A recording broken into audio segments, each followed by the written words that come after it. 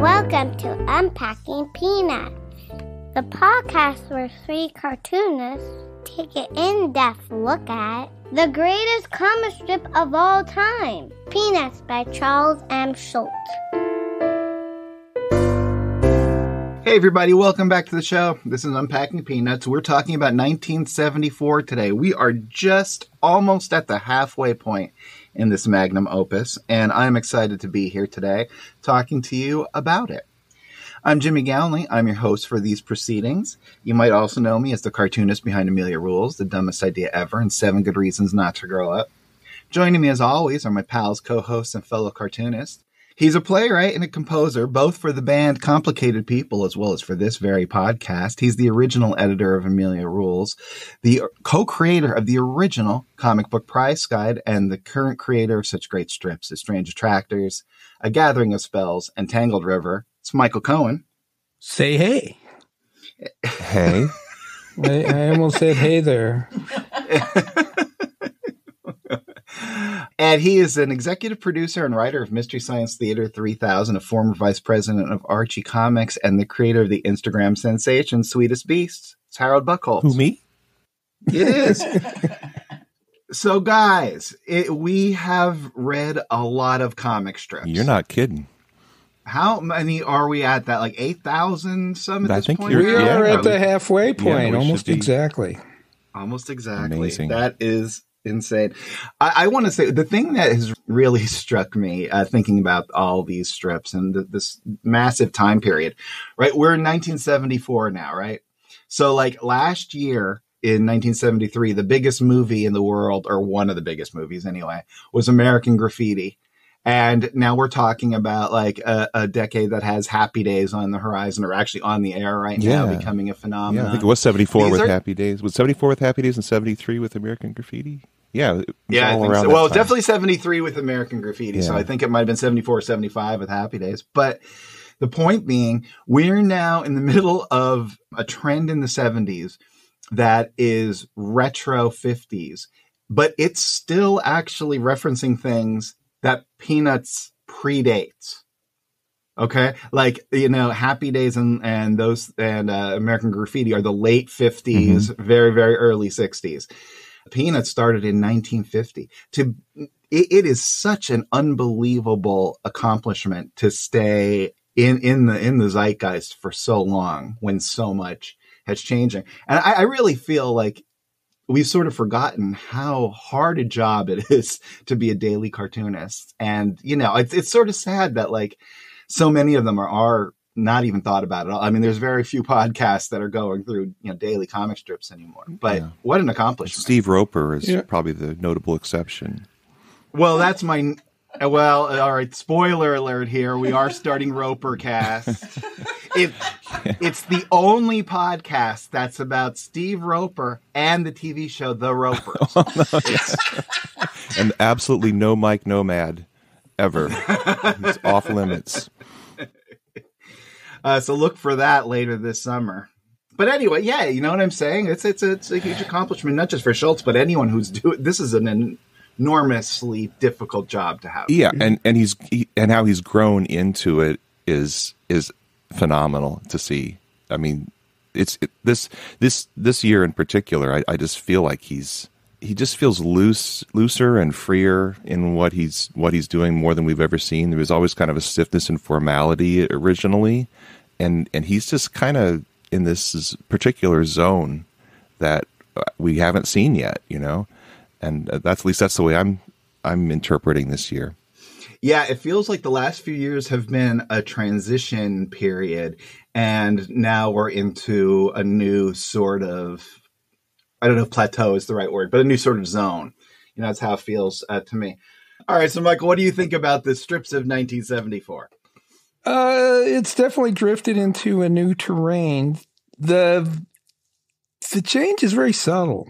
I mean, it's a little hard to pinpoint when and where the shifts came. I think these 70 strips certainly have a different feel than the 60 strips, and there, there's no confusing them. But it's just like Snoopy's evolution, you know, from a puppy and, you know, mm-hmm. through all these different phases of Snoopy's life. You, you don't see the changes. as you're reading them, but they, they happen pretty fast.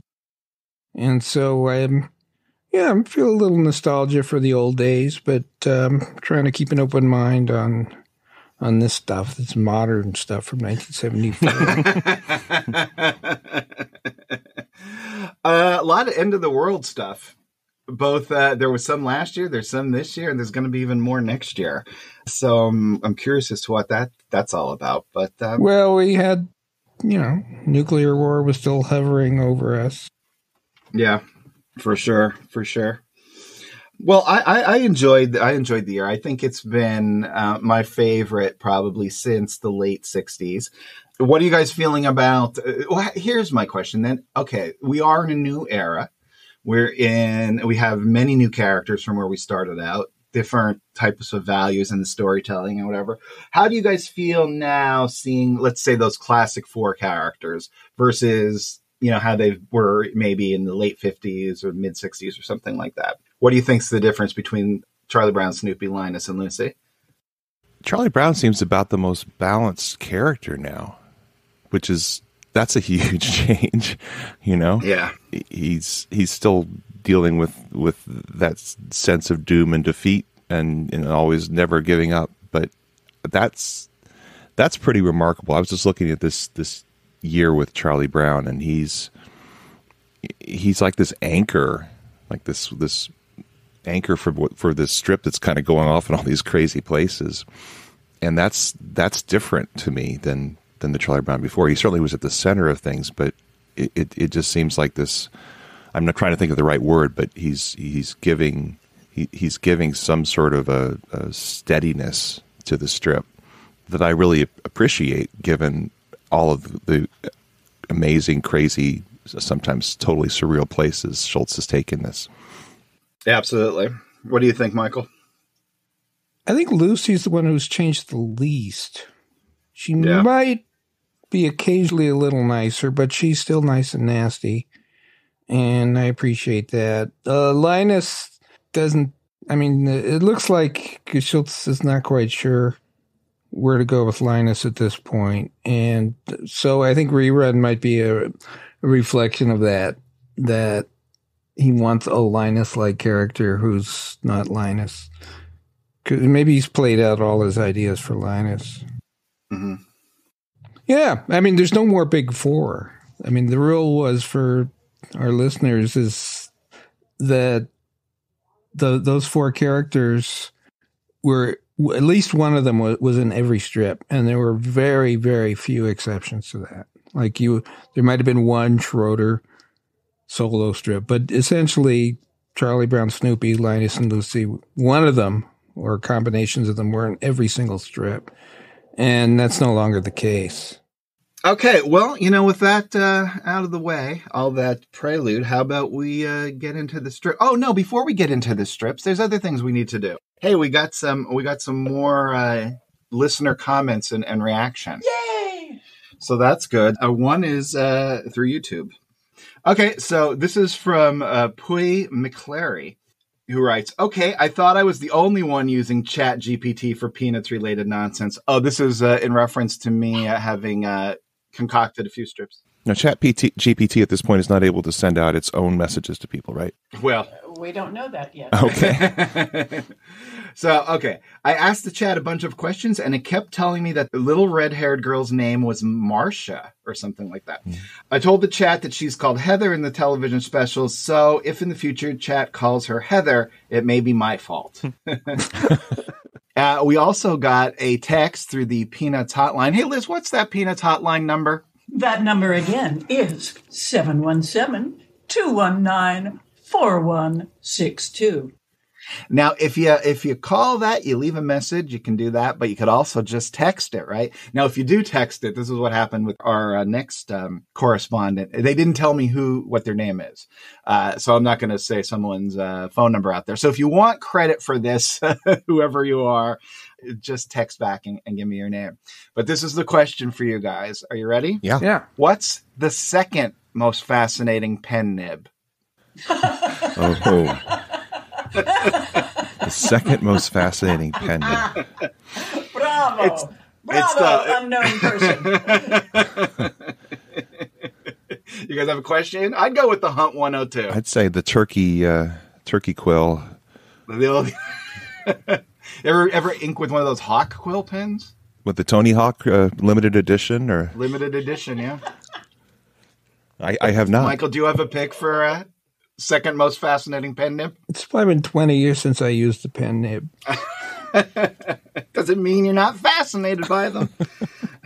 What was was there a, like a twelve ninety that was super flexible that had like a curved tip to it? Did you ever use that one? I oh, I know. I don't know the number, but I do know what you're talking about. That had like a brass uh, rather than the steel. it was super flexible. Um, it was like the one pen nib I I even had a ghost of a chance working with because it wouldn't dig into the paper and spray everything the way Charlie Brown would always do when he's practicing his his penmanship. Well, I just have two things to say about that. One thing, I, I find that hard for me to personally understand because those pen nibs were much more difficult for me because what I would do, because it had that flex, Yeah. I would get the big blob of ink. Uh, well, And like the stiff Hunt 102, y- you know, took my, my roughness a, a lot easier. so you did a what did you do with your Hunt 102? What what did you draw with the Hunt 102? Because I know you used it quite a bit. Yeah, a lot of Amelia. Not a- actually, no. Most of Amelia was the hunt or was the five twelve. That was the early stuff, which was me trying to find something that was similar to the nine fourteen, and then the rest of it was that magic zebra brush pen. But for uh, So you, you, like you really were looking for the same kind of line you were seeing in in Schulz's work. I what I was looking for was something that I could draw quickly with, and I thought that was a good way to go because obviously he was doing that. But then when I switched all of the Shades of Grey stuff, and then all of Dumbest Idea and all of Seven Good Reasons were done with a Crow Quill with the Hunt 102. Did you Uh, find so it fast? like, did you find that a fast? No. no. God, okay. No. yeah, I, yeah. I, I, I was wondering. Yeah, I, I had such little luck with with dip pens. Uh, I could. I I got a whole rapidograph set when I was a little. You know, I was a teenager. I was like, "Oh, this is exciting." I don't think I ever once got the thing to work. I was Rapidographs, I was like if you're not cleaning constantly, they are so finicky. But I just bought the thing. was there some trick you're supposed to run some solvent through it or something? I, I was. Oh yeah, I was just terrible. Uh, Now I switched. I did go into the brush and did a lot of stuff with brush and found that much easier than pen nibs. And and brush is not easy. Yeah, brushes I find harder. You know, but the second thing I just wanted to say was, other than telling you about my second favorite pen nib, is I love the fact that this was a sarcastic question. Uh, Yet still, but we talked we about still- it for 15 minutes. Easily. Oh, I, I don't. I don't know that that was sarcastic. I think we should give them the benefit of the doubt.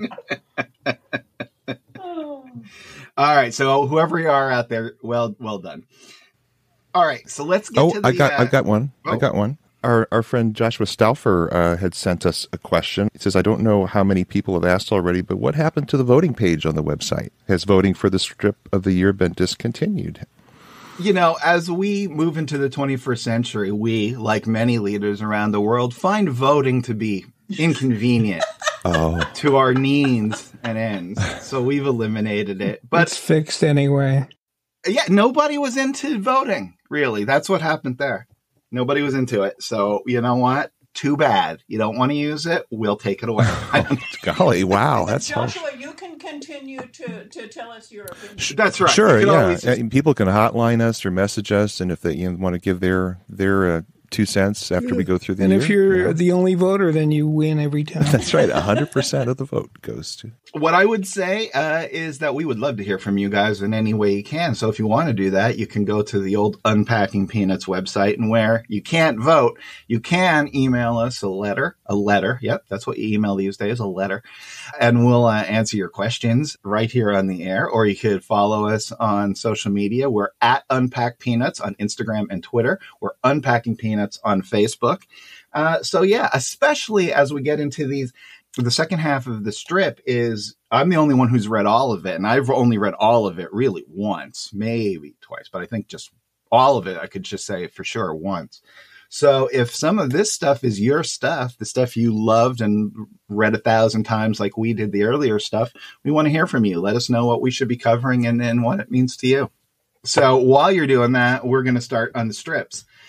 Now, if you want to follow us week by week what strips we're going to be covering, what you can do is you can go on to uh, what is known as the World Wide Web You might you could find these discs around. They're uh, AOL. You put it in there. That'll get you on the World Wide Web. Then you find a place called GoComics.com and type in Peanuts and 1974, and that's how you'll be able to follow along with us. Now, if you want to know exactly what strips we're talking about ahead of time, then you can sign up at our website for the Great Peanuts reread.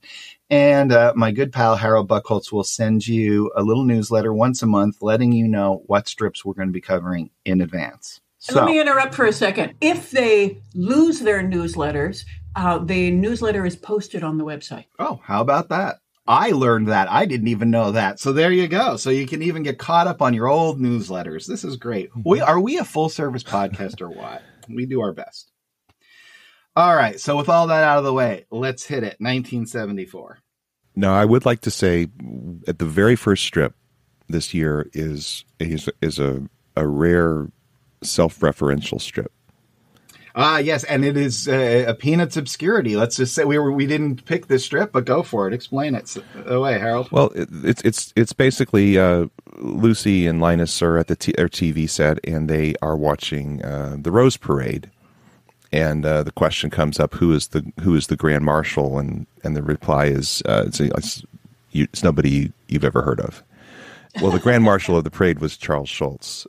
So oh. uh, Amy was there with him as well. The theme of the Rose Parade was happiness is. So Schulz obviously knew he was going to do this quite a bit in advance, so he was able to hit on January first that strip. The the morning if they were getting the morning paper, they might be reading that while they had the Rose Parade on, and Charles Schulz was waving at everybody.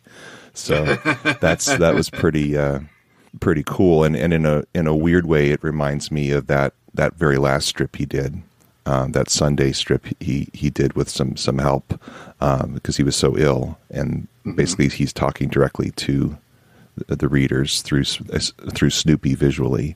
But yeah, the the idea that um, he's you always say Schulz is a character in the strip. Uh, Jimmy, mm-hmm. here we are with uh, him in, inserting his existence into their world, which I think is pretty cool. Oh, very much, very much. And that brings us all the way here to January 2nd. This is fun. To me, this is a conversation between Harold and me and Michael. so Linus is talking to Snoopy and Woodstock, who are hiding under a sack. And because uh, they believe the world is coming uh, to an end because the comic Kohoutek is flying by. Linus says, Tell me something. If the world comes to an end, what good will it do to have a sack over your head? Then he calmly walks away, leaving Woodstock and Snoopy to contemplate this question. Then in the last panel, Snoopy thinks, I hate questions like that. Schultz really has sex on his mind, isn't he? what? Sex. He's obsessed with sex. Nothing but sex. Boy, the two of you. Last year, Harold's talking about bushes. Now he's obsessed with sacks. This is just taking a dark turn. It's unpacking peanuts after dark. there's there's so much stylistically interesting in this strip to me because you've got this kind of it, it looks like the Charlie Brown sheet over his head in, in, at Halloween, except we can see the eyes instead of just the black holes in the two little pupils. And looking at Linus, it's really really cute, and this little side hump for uh, for for uh, Woodstock. And I don't think a, a paper sack would bend like that. well, does it have to be a paper sack? It doesn't say it's a paper sack. It could be a flour sack. Could be a gully cat sack. Yeah, it's a fa- pillowcase. pillowcase sack. Yeah. it, it's it, I love that the eyes Woodstock's eyes are almost as big as Snoopy's eyes. I think that's hilarious. I love that Linus asks the question of them and then leaves not asking for an answer. And oh right, and yeah, I love no, no, that it was a rhetorical question. It was great when Snoopy turns away from where Linus was. I, I love that uh, that Woodstock uh, it, to help the design switches over to his uh, his other side yeah. so it's visually more appealing. so there's a there's a lot of a uh, lot of artistic choices here that are not obvious, but you just accept them. But it makes for a great strip, and it just it, again it's, it's Schulz's mastery of knowing what you can do in in, in visual storytelling. Absolutely. January 13th, Snoopy is floating alone through the cosmos. In panel two, in, in an abstract uh, first panel, panel two, he's just lying on the side of his doghouse rather than the top, sighing. Then, at the start of the strip proper on tier two, he's leaning up against his doghouse and he thinks, My life has no meaning. Now he's on top of the doghouse, stressing. Everything seems empty.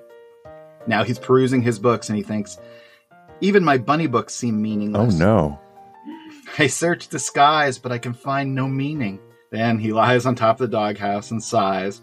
But then in the next to the last panel, the penultimate panel, if you will, something attracts his attention. He hears something coming. And then in the last panel, we see it is in fact Charlie Brown bringing his dog dish of food. And Snoopy says, Ah, meaning. Here's the weird thing.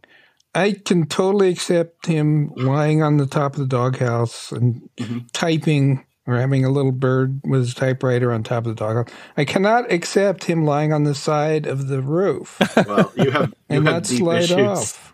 He will Deep. slide off. I think that little patch on his back is Velcro. It's got to be. Now you understand what I was thinking when Yeah, said but my, our roof was not this steep. Michael, you used to go sit out on your roof. Well, during uh, the, the COVID, when we were all locked down, I yeah, I'd go up on the roof. I needed some sun. Was it on an angle? Yeah, but nothing like that. Yes. Mm-hmm. Liz, were you Liz concerned for Michael? out, there was no way I could have slid off. But this angle, yeah. January 21st. Oh, so now we have good old rerun making some uh, some of his earliest appearances. Uh, in this sequence, he is, and this is actually one of my favorites. I always loved this when I was little. Uh, rerun is riding on the back of his mom's bike.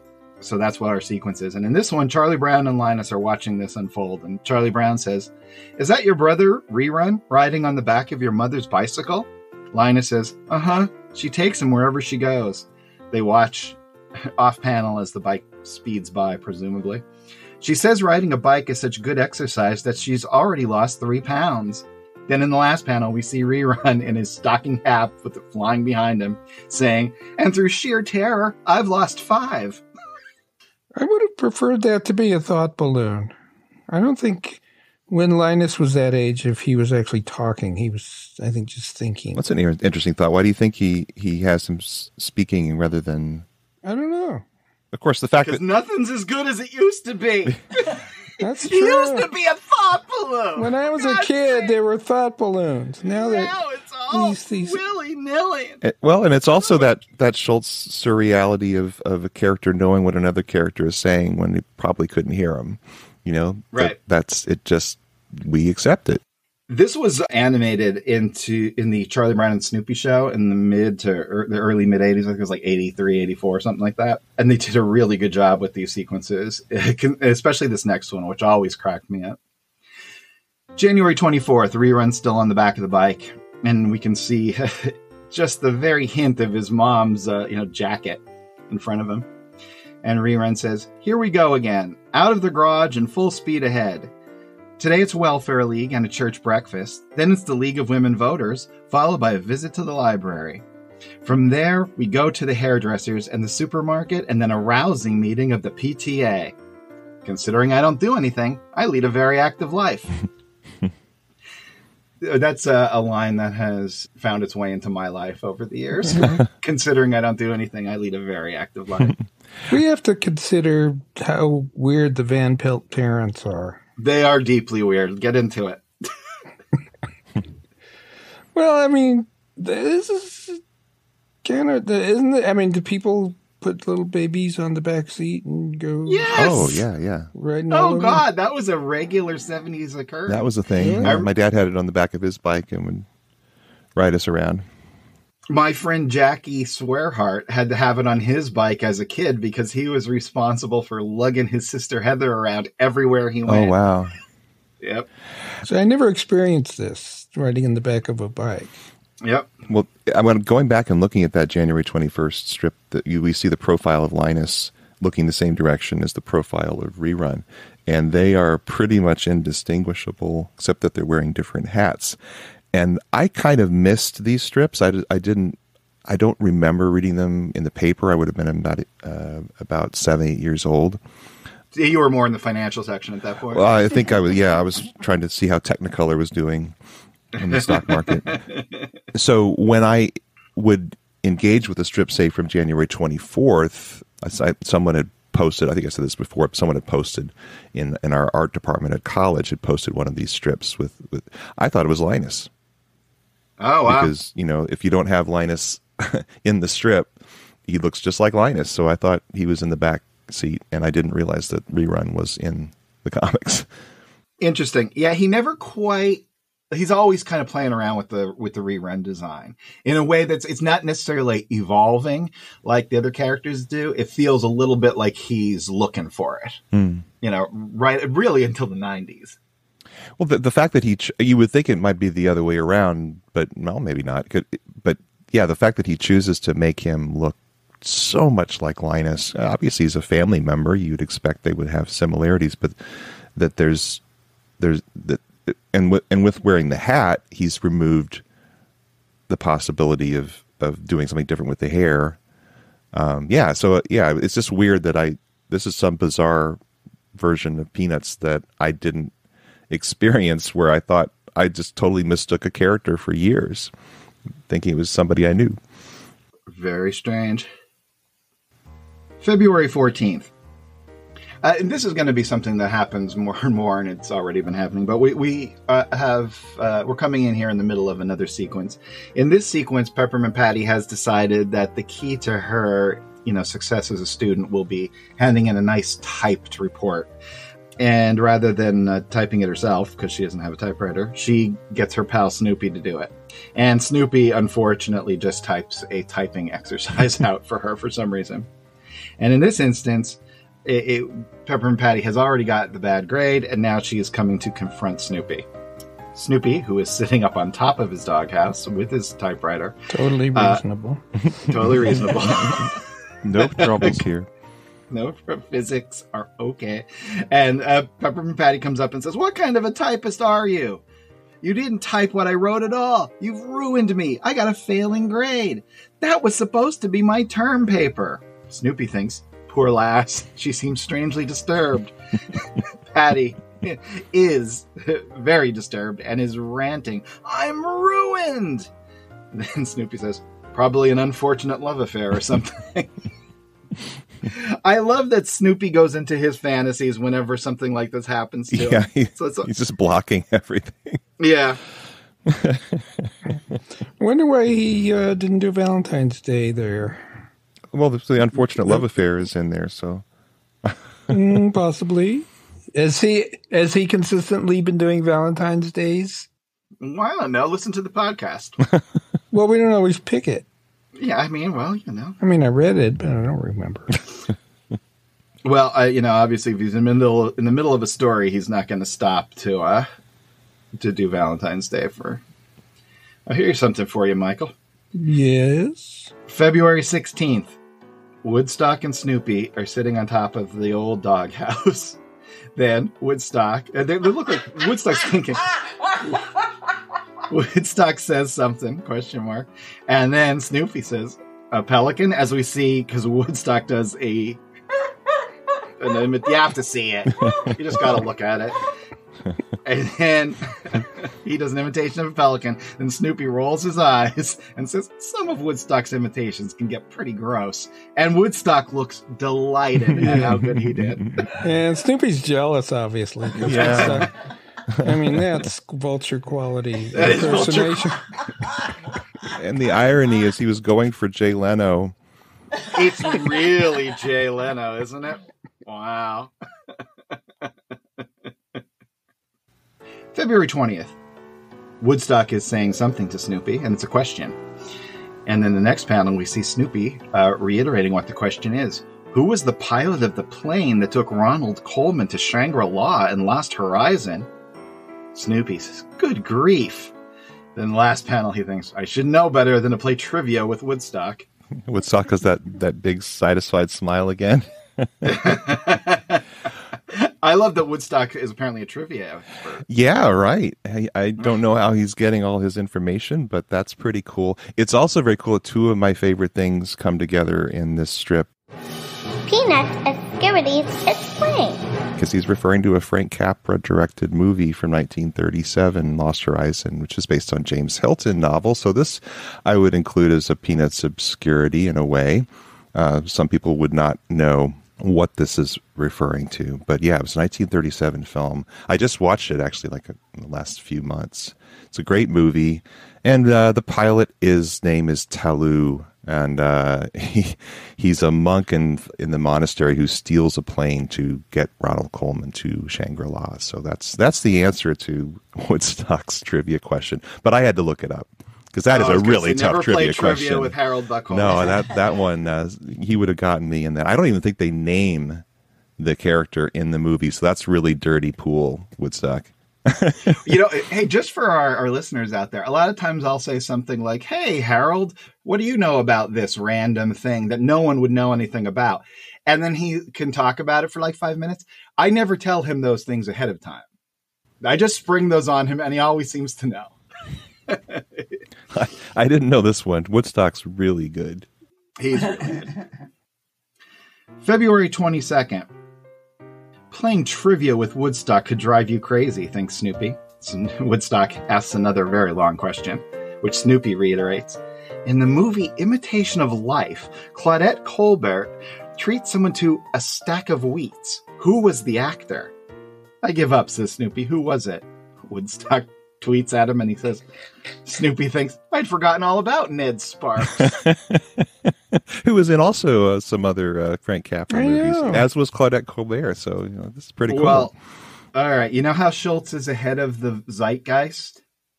So I picked a couple of the, uh, he's always just a little bit ahead.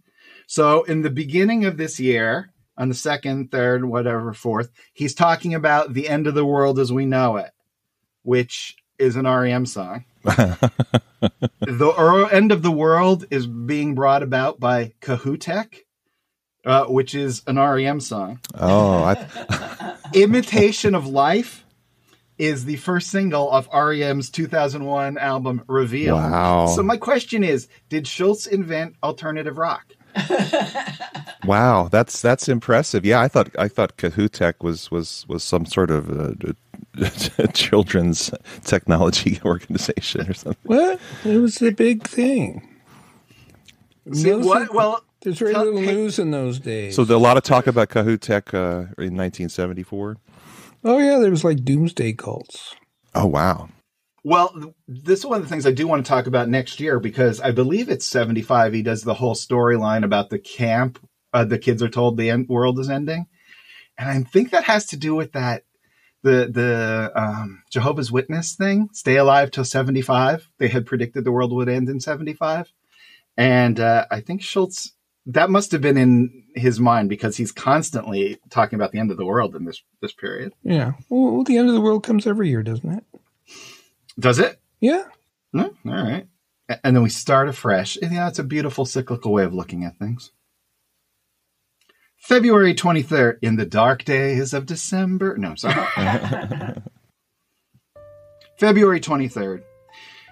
Charlie Brown and Linus are hanging out at the thinking wall. Linus says, I've decided how I'm going to make my fortune. I think my future lies in sports. Charlie Brown says, You think you can make a lot of money by becoming a professional athlete? Linus says, No, a knee surgeon.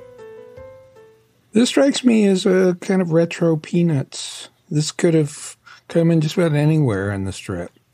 Yeah. It seems more like a 60s or late 50s strip. With the only possible caveat being maybe there were more injuries because football was much more popular. You know, and that is definitely a sport where you're getting a lot of knee injuries. Uh huh. And, uh, you know, football being very popular at this point. But yeah, it definitely does have an original Peanuts vibe. Yeah, plus uh, Linus was sort of the smart one, so he this is actually in character that he he'd consider like becoming an MD of some sort. Yeah, because he has mentioned being a doctor in other ones, right? He's going to be a big famous doctor that's really humble. And did his mom want him to grow up and be a doctor? Was that part of the her her thing. I don't remember th- them actually like when that. putting the but- notes in his lunch. I couldn't remember if she ever came out and said, you know, we hope you'll be a doctor or a lawyer. No, I don't think so. But I mean, who knows? Again, what's going on? You can be whatever you put your mind to. She was being much more open ended for him. That was nice of her. right. March 8th. Snoopy is walking by Lucy, and Lucy is in her uh, classic crabby mode. She yells, You stupid beagle! You fat, no good, worthless hound! You flea bitten, good for nothing canine! She's shaking her fist. Snoopy, walking away, thinks, That's the trouble with being sensitive. Even the slightest remark can hurt your feelings. He's not fat. He's getting a little portly there. I don't No, know. he's just Not big that I'm into stomached. Body shame. he's big stomach.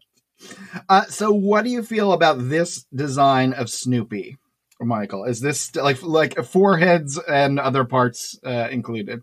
Uh, I think it's still closer to the older Snoopy than the, the soon to come Snoopy. hmm It's just such a really nice design. I mean, th- these all of these characters look, yeah, just generally look really, really nice at this point. They they definitely look looser, and then yeah, he was drawing them certainly earlier, but I kind of like the looseness of the line of where he is right now. Yeah, I think it's great, and that is some classic uh, Lucy insults. So that's two in a row that we have that are kind of uh, a bit of a throwback. Yeah. March 13th. So now we're in another sequence. So in this sequence, uh, Peppermint Patty has decided school is not for her, and she's going to live the Snoopy life. So she is going to just hang out on top of uh, Snoopy's doghouse with them. So what we have here is is Marcie coming up and trying to put an end to this. So we see Peppermint Patty and Snoopy atop uh, Snoopy's doghouse. Marcie comes up and says, "Now what are you doing, sir?" Peppermint Patty throws her arms around Snoopy, giving him a hug from behind, and she says, I'm not doing anything, Marcie. I'm just going to sit here for the rest of my life with my old friend Snoopy. Marcie implores her, Don't do that, sir. Come down. Come down and go to school with me. Peppermint Patty says, Nope. Then she hugs Snoopy again, saying, I'm going to stay right here because old Snoop is the only one who understands me. Snoopy says, I do. Now, at this point, correct me if I'm wrong, she still thinks he's a boy. She discovers it in this storyline. Though how a boy could have those ears, I don't know. March 14th, our scene continues with Marcie speaking to Pepper and Patty on the doghouse. Marcie says, Sir, please come down and let's go to school. If we hurry, we can still make it to second period. Peppermint Patty is having none of it, and with a scowl on her face, she says, I hate second period. Besides, I've already told you I'm going to sit here with Snoopy for the rest of my life. We're just going to sit here and beep each other on the nose, which she then does. Beep! To which Snoopy thinks, Thrillsville 74. I will pick any strip with the word Thrillsville in it. now, is this an, an obscurity? Because when did they start tagging movies with the subtitle of the date? Well, it goes goes back to the 30s. Does You know, it? the gold diggers of 1936 Oh, yeah, or that's whatever. But but I think with, with with just putting the year after it, I think well there was airport right and Airport there was 75 or something, right? yeah, but that was again he's ahead of his time. Yeah. Maybe someone saw that saw this and goes, "That's the way we need to name these movies going forward." I, I can't remember a film that just put the year after it until the airport movie, which I was it was it seventy five? Was there It one feels before like that? it's 75. Airport 75. There was Airport 75, but was there one before that that did a year?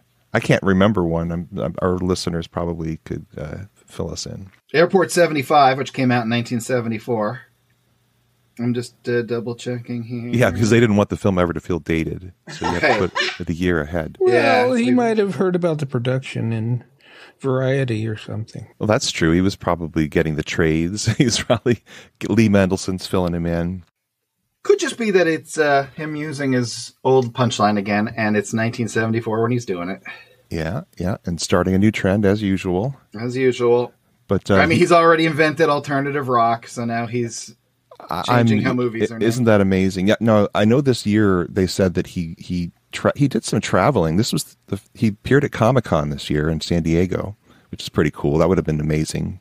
Oh yeah, to- this is like uh, the famous instance where he met Robert Crumb and said, "Hello, Robert," and Crumb like almost lost his mind because he couldn't believe Schulz knew who he was. Wow, that's that's that's amazing. Uh, he also go to, goes to Oregon this year to do research for uh, the feature "Race for Your Life," Charlie Brown, which is shows you how far in advance they are working. Because I don't think that movie came out until like four years, Uh, Seventy-seven that comes seventy out. three years later. Yeah, so.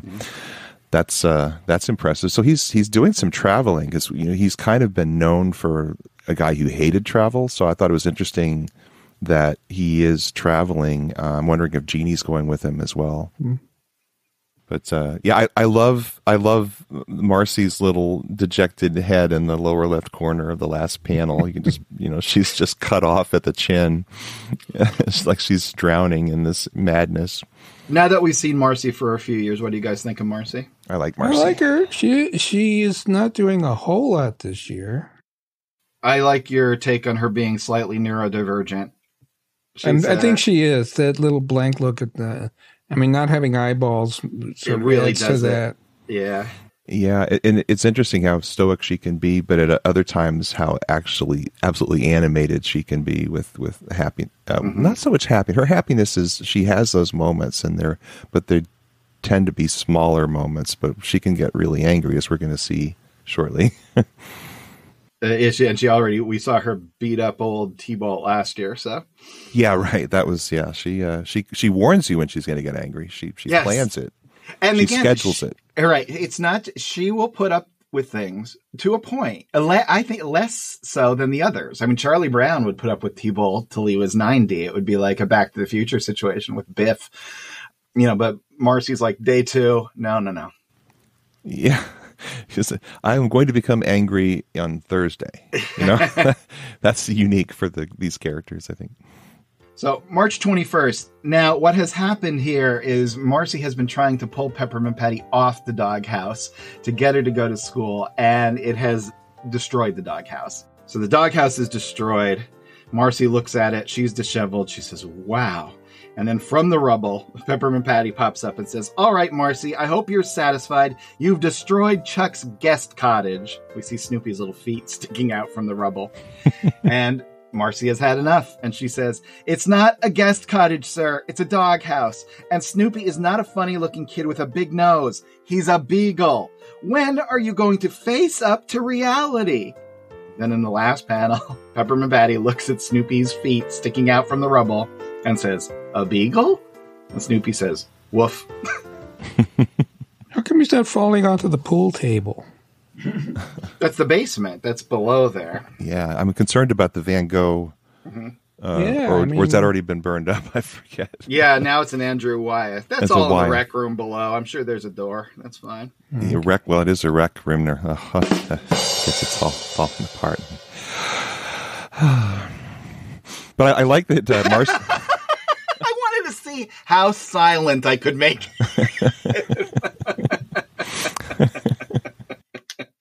I, I like how Marcie is is laying into reality with Peppermint Patty, but is still calling Peppermint I- Patty "sir" while Sir, saying it. I, I was going to say that. Brilliant. Right? Yeah. Because we can always see everybody else's problems. Always. Right? Yeah. You you may know what others don't, but you don't know what you don't know. Exactly. So uh, we're going to go back one after that uh, because I didn't want to interrupt the flow of that sequence. But March 17th is a Sunday, and we see uh, there's going to be a show of some sort because there's a curtain uh, perched atop Snoopy's doghouse. And then in the next panel, Snoopy has begun the show. And we see what looks like a man with a mustache and a Russian hat. Uh, and now there's two little puppets, uh, two different characters that he's waving around. And he continues to do this through all the panels. Charlie Brown and Lucy are watching this show. Lucy says to Charlie Brown, You know what? And Charlie Brown says, What? Now Snoopy even has one on his foot. he actually has a, Napo- a Napoleon puppet on his foot. Lucy says, Six hours is a long time to stand here. Charlie Brown says, That's true. And then the last panel with Snoopy now balancing four different puppets, Charlie Brown says, But where else are you going to see War and Peace performed with hand puppets? The great drawing of Snoopy doing this with puppets. And great drawing of Napoleon. Oh my gosh, Napoleon the the puppet is a brilliant drawing. It makes me think of those uh, Mighty Manfred, the Tom Terrific uh, cartoons from the early '60s, where they were on Captain Kangaroo. Oh yeah, yeah, yeah. And you know, there's actually a collection. Uh, those that was created by Gene Deitch, uh, who was a cartoonist and father of like Kim Deitch, who a lot of people know. Um, Wow, you're pronouncing it right. Yeah, well, yeah. And uh, I had German in high school, so I know. Yeah, me too. and he created uh, it as a uh, Tom Terrific as a comic strip first called Terrible Thompson, and it, it ran for just a few months. But you can get the collection of them from Fantagraphics, and it's a really neat. It's that UPA style, super modernist look, but it's a really fun comic strip. Yeah, it was done by Terrytoons, not too far from where I live in New Rochelle, New York. New Rochelle, home of the Dick Van Dyke uh, characters. You know, New Rochelle claims, yeah, claims Carl and Rob Reiner Yep. and Mighty Mouse. I think I like And New how to Rochelle a lot. succeed in That's business without really trying. New Rochelle. Oh wow! What There you go. New Rochelle. What about So everything's coming up New Rochelle. Mhm. March 31st. So Marcie is standing in front of uh, the baseball bench and she's holding a sign that says, Play me, trade me, forget me, who cares?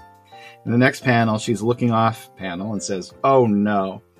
And Peppermint Patty comes up. She's holding a bat in her hand and she tosses Marcie a baseball glove and she says, Guess what, Marcie? I've decided to give you a try at center field this year. Marcie says, I don't play baseball, sir. Peppermint Patty says, I think you'll be a real natural. Marcie says, I hate games, sir. Peppermint Patty sends her out to the outfield and says, Why don't you just trot out there on your little Billie Jean King legs and we'll see what you can do?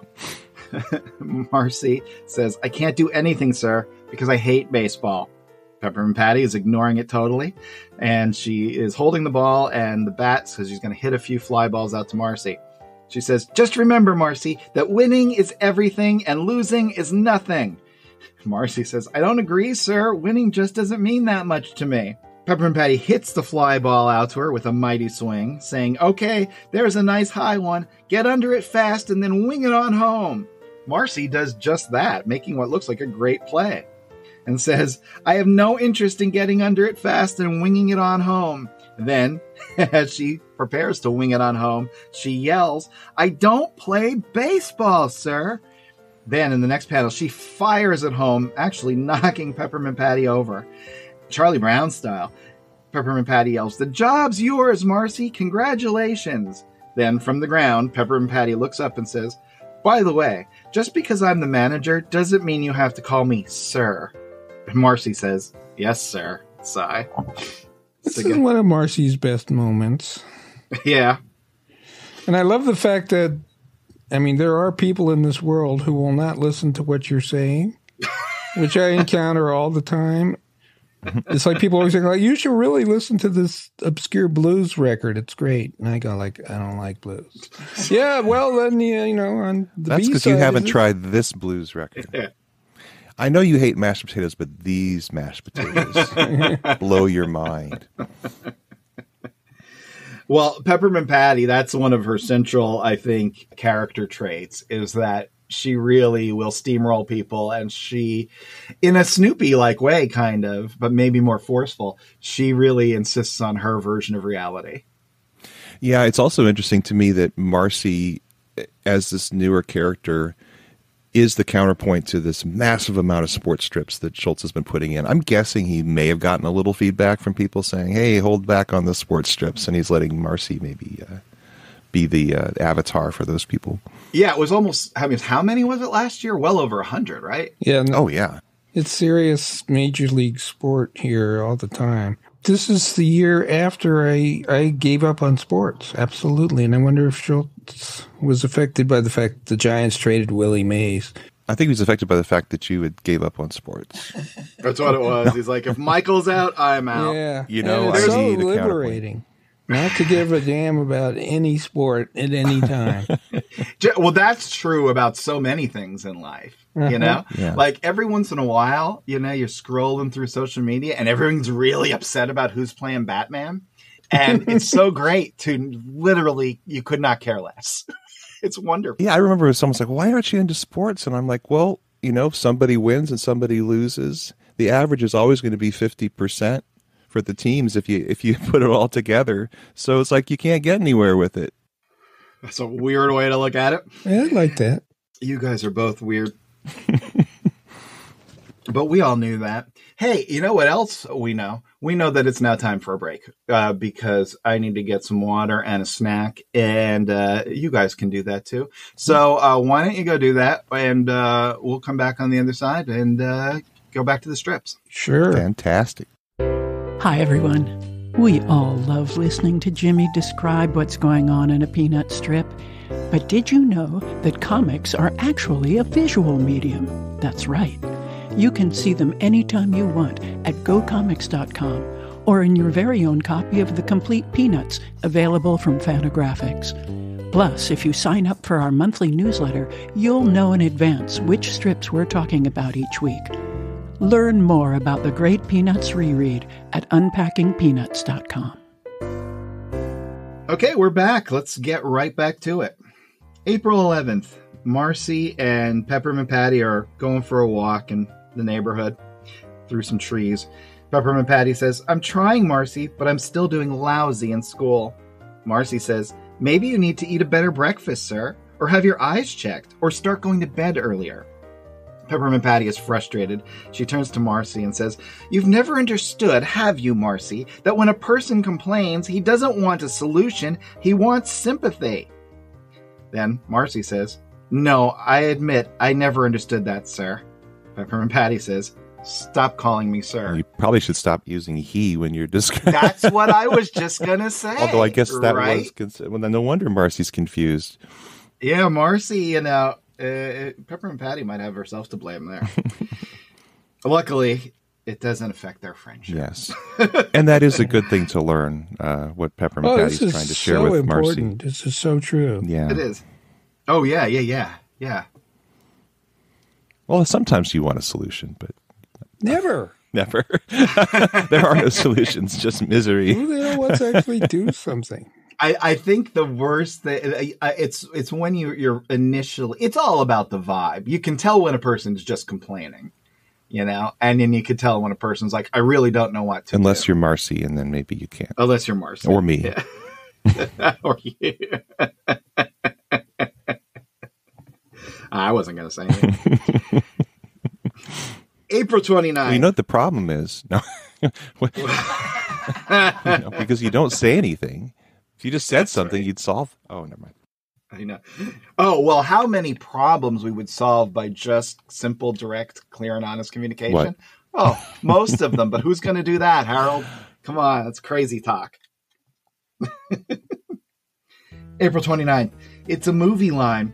And in this particular movie line, we see Sally, Linus, Franklin, and possibly Pat. the back of, of Patty, original Patty. Oh, you said movie line. I thought it's like, frankly, my Scarlet.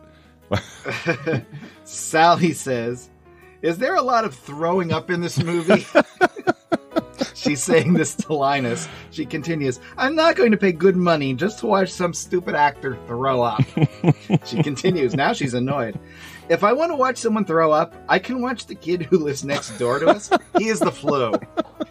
Then Linus leaves, saying, I'm going home. All your talk is making me sick. Sally throws her arms out and says, Don't go. Maybe there won't be any throwing up. Maybe there'll just be killing. This is a veiled Linda Blair reference, isn't it? Well, did people throw up before then in movies? I think I'm certain someone threw up somewhere before I, the th- I think it was I probably a to- discreet, I'm going to be sick and leaving. it's it's the old over the side of the ocean liner gag Mm. with the finger over the ex- expanded cheeks. I have to say, I agree with Sally. I do not like watching someone throw up on screen. This one, I, I, I I don't know if you guys nominated this one, but I, I definitely did. I just Sally. This made me laugh so much. Her just going off on it, and, and and I think she just did uh, Linus some a service if if she's correct. You know, you really don't need to see all that pea soup. You can just you know just buy some Liptons and save some money. May 6th. Joe Cool is hanging around the dorm. And he says, Here's Joe Cool hanging around the dorm. In the next panel, we see him taking off his sunglasses. And he thinks Joe Cool always keeps up with the latest campus fads. In the next panel, we see him laying his sunglasses on the ground and removing his collar and saying, And what's the latest campus fad?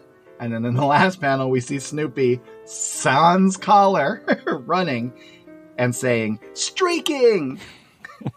Well, the seventies, like naked seventies Snoopy. never, never let up. It was like fad after fad. Yeah, he likes to show off his physique. it is an endless there are tons of, of fads in the 70s right? I mean streaking was a fad cb radio was a fad Mood pet rings. rocks. Mood rings yeah yeah yeah. There was a thing called lids where you'd put them in your eyelids to like prop your eyelids open and they were like decorative. That didn't last very long. Wow, I don't know about that one. Oh yeah yeah yeah they showed it on the pm magazine Oh, okay. Well, that, yeah. Well, then there was Lidsville. That I know about. sure That that I call it Uh, bad. I think I I think it's it's you know we're now ten years out from the height of the British invasion and all that kind of excitement, the '60s excitement, and I think people are now like, it's been ten years. What's the next thing going to be? And they're trying to make it happen, trying to make something happen, and it's just not happening. May tenth, Peppermint Patty is thrilled. She runs up to Marcie, saying, "Marcie, look, I got an N." She's holding a piece of paper with this on it. And then in the next panel, she's holding it, looking at it. She's so proud. She says, I got an N on my English test. That's the highest grade I've ever gotten. Marcie says, It's not an N, sir. That's a Z. You have the paper turned sideways. Poor Peppermint Patty is now crestfallen, and she says, Rats, for one brief, exciting moment, I thought I had an N. Punchline sounds very familiar. For one brief shining moment. one brief, shining moment is from Camelot. No, no, no. I think that's there's he used that in Peanuts for one brief exciting moment. I thought I'd. It's like Charlie Brown, like did something, like the kite flew or something. I can't remember. So you, you think you think that ter- brief exciting moment is a is a peanuts term Yes, that has been do. used before? All right, uh, listeners out there, find it. Okay, if you could find where uh, Charlie Brown or someone said brief exciting moment, uh, let us know. May 29th. Linus and Lucy are hanging out uh, outside. Linus is in classic thumb and blanket position, and Lucy says, Linus, do you think I should have my ears pierced? Linus says, I have a better idea. Why don't you have your mouth boarded up? Panel three, Lucy just slaps him. Pow! But then from the ground, Linus, a big grin on his face, says, That was worth one hit. Two hits, no. But it was definitely worth one hit. Ah, yes. This is this really takes me back to the good old days when he was getting slugged all the time for snarky remarks. I love how she looks so calm in panel one. And then the next time we see her in panel three, it's just pure violence. she goes from zero to 100. Look at the word balloon, the left hand side of the word balloon in panel one, and you really start seeing that shake in that Mm. line. Yes, you do. Yeah, and that feels like a tremor to me as opposed to a choice. Yeah. Uh, and you will be seeing that more and more. And the first place you start to see it, I think, is actually in the word balloon. When did he start doing that on the on the boards on the side of the doghouse, where he he'll he'll go for a, a very brief run of the line and he'll start it over again and do it so you see it like four different, you know, takes of the line of that board instead of it just going all the way across as a single move. Because I've been noticing that this year, but I didn't know if he, hmm. he had been doing it all along, but it was it was more controlled or. Yeah, I'm not sure. I'm not sure exactly what you're you're referring to. You're talking about like the the lines on the. Oh, I see what you're saying. Um, because I'm looking at the the puppet show thing. Yeah, as opposed to one line that goes across, he's doing it like a third of the way, then another extension of the line. Is that what yeah, you're yeah, talking about? exactly. Yeah, or or, or he's Yeah, maybe yeah, never, he don't never lifts the pen, but he he he moves it, then he moves it again, Stops. moves it again, and, and each time the line has just a slightly different arc or angle Mm-hmm. to it, and you can see where the ink might pool just a tiny bit. But that's that's Yeah, a I'm new sure. a new thing. Oh, and Michael, by the way, yeah. Um, I, before you said other people look it up, you you are not crazy that brief exciting moment has appeared at least twice before. Really? Whoa! Wi- with the same go, gag, Michael with the same gag, the same line, really? the same full line from. fi- It was fifty-one and fifty-nine, so it, that that goes back a ways. Uh-oh. So what do you, do you, do you have the Oh, actual wow. punchline? I do, yeah. What is it? The, it was uh, well, the the first 1951 Charlie Brown. I'm I'm on the Five Cents Please website, but it says um, the the strip is it says Charlie Brown looks at his face closely in a mirror and then reports to Violet that it turned out only to be dirt. But for one brief exciting moment, I thought I needed a shave. And then in 59, Linus looks at himself in a hand mirror, decides he's only he's only seeing a little dirt, and reports to Lucy for one brief exciting moment. I thought I needed a shave. So he did it twice. Okay. No, there you go. Well, actually, since we just saw Linus getting slapped upside the head, do you want to do the anger meter? Uh, sure. We can do the anger meter. So, what do you guys think? How does this year feel to you? Does it feel angrier or happier? I mean, this this anger is only in one panel. Does that make the whole strip Right. angry? I, no. How do you not know the rules I to don't this know. yet? Yes, let's we'll go over the rules once more for our new There should listeners. be one So- one quarter of a God. panel. No, it is if a strip shows anger. But is this happiness too? Because he's happy in the last panel. Yes, Is yes. it both? yes. It's yeah, it Yes. can be both. So basically, the anger the anger uh, count that I'm doing every year, I've been doing every year, is if at least one character in one panel is showing what I would consider to be anger, I will count that as a strip that has anger in it. And if the strip shows a character uh, who is happy for even just one panel, Okay. I will consider that happiness. So I'm just trying to be consistent throughout. I just love that Michael does not know the rules, but consistently is right. I completely understand the rules. I have n- gotten it right Oh, twice. but they're not Well- my rules, so I don't pay attention. well, well, well, I'll go back to 1973. So we uh, we were down to I think we were we had 73 angry strips, which is just 20 percent of the strips had a character showing anger, which is really low for the strip, and uh, 92 or 25 percent for showing happiness. So if we were 20 percent. 73 how many do you think where are we in 74 does it feel any different to I'd you? say sixty-four. what do you think jimmy I uh, think that overall, this is going. I, you know what? I think we're holding steady. holding steady. Well, the number has gone from 73 to 95. No way. 26% of the strips are angry, and then the happiness index was at 92 and 25%. What do you think we are this year? I think we're holding steady. Ninety-three. Oh, you're not not far off. It's 102, so it's up 3%. So it, this kind of goes with uh, my theory, and we have been talking about this before. Schulz had been going through an awful lot in his life, and he'd just gone through a divorce. And this is the first full year he is remarried. He's kind of building a new life for himself. He's moved to a new place, and I, I just get the sense that he's he's maybe a little bit freer with his emotions than he had been earlier, and we're seeing a little bit more of that in the characters. It seems like my sense is in the earlier strips when a character showed anger, you had the sense that the anger was maybe wrong. You know, you, there, there was just kind of that underlying sense that it's it's not right for the character to be angry.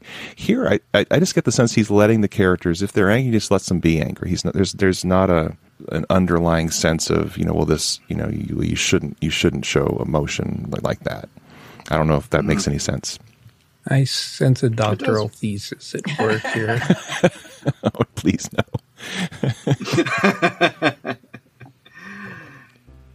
June 17th. Oh, this one's very important in my life.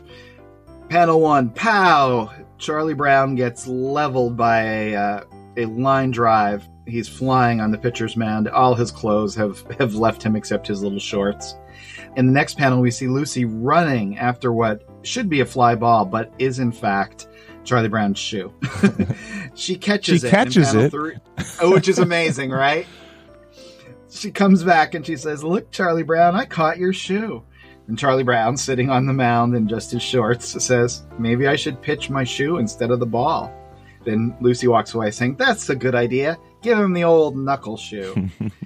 This was on the cover of my uh, my the front of my uh, my lunch can, my uh, my my lunchbox for for This was the name of my my doctoral thesis.